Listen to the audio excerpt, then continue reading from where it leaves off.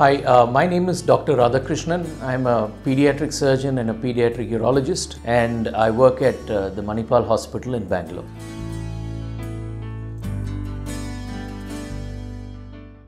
The condition of hypospadias is a spectrum.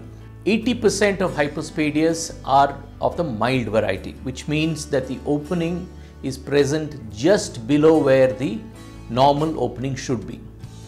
However, about 20% of, in 20% of cases, the opening can be either on the shaft of the penis or even lower down in the scrotum.